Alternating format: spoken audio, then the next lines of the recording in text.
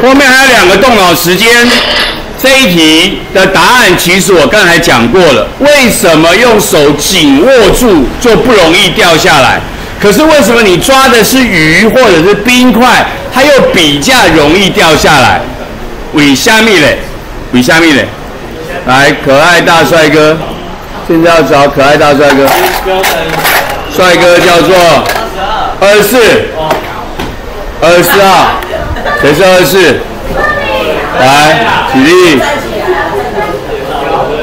答案刚才已经讲过了，为什么用手紧握不容易掉下来？可是为什么握的是冰块或者鱼的时候就容易掉出来？一共啥？有什么？正向力比较大，就第一个答案。那第二个，为什么握的是冰块跟鱼的时候容易掉出来？接触面性。接触面性质，好，这样讲起来比较有理化程度，就是比较光滑了。用手紧握就等于刚才的用力压黑板一样，所以正向力大，最大静摩擦力大，不超过最大静摩擦，它就不会滑掉，不会掉出来。但是冰块跟鱼比较光滑，接触面性质不同，所以呢，它的最大静摩擦力会比较小，所以它就会容易掉下来，容易掉下来，就是前面教过的，会跟接触面性质有关，会跟正向力大小有关的话，OK，这就是动脑时间三，还有一个动脑时间四，答案也差不多。这里有人考过，这里真的有人考过，就是个书柜装满书，推不动，把书拿出来就推动了。问你为什么？问你为什么？啊，装满的不容易推，拿走就容易推。请问你为虾米阿呢嘞？这这真的是考过的题目，这真的是考过的题目。帅哥美女，现在要换的是大美女，大美女叫做六号。六号大美女，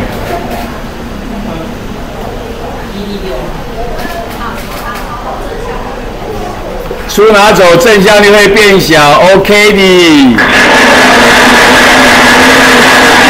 在这一题里面，正向力就是重量，很多的东西重量比较大，正向力比较大，最大静摩擦力比较大，你必须施力超过最大静摩擦才会动。所以不容易推动，东西都拿出来，重量就变小，正向力就变小，所以最大静摩擦力就变小，所以就会容易推动。所以这里影响因素叫做正向力，在这里这样就是所谓的重量的告诉你，最大静摩擦力跟正向力成正比。讲这件事情很简单的两个小问题，OK，无人问题吧。门，接着要谈的叫做摩擦力的利弊。我有的时候希望要有摩擦力，有的时候我希望没有摩擦力。我们为什么可以走路？是因为地面有摩擦，所以我的脚向后蹬，给我一个摩擦力向前推，于是我就往前走了。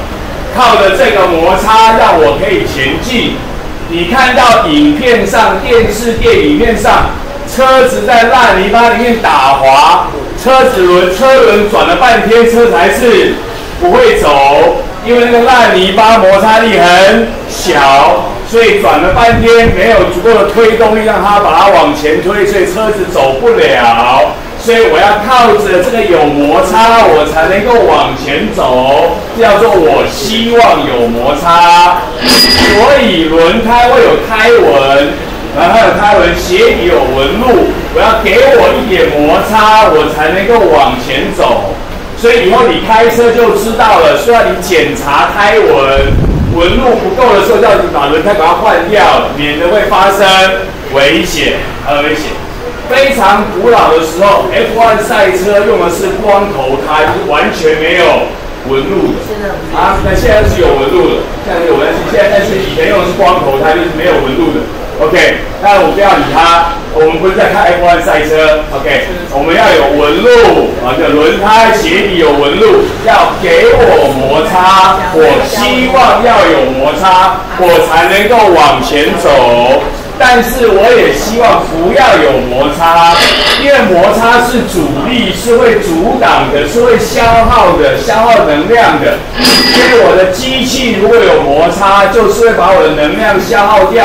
我给它这么多，它只能产生那么多，因为都被消耗掉了，所以会减少我的，损耗我的工作的效率，工作的能量，会让造成一些困难，会少掉。我不希望它有那么多的摩擦，免得损耗太多，所以我就要想一点办法。我会加润滑油，润滑油让它摩擦会变少。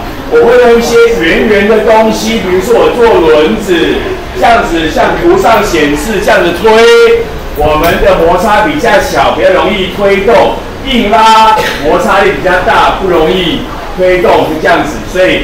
我会用一些方法来减少我的摩擦，这个告诉各位，摩擦力是有利有弊的。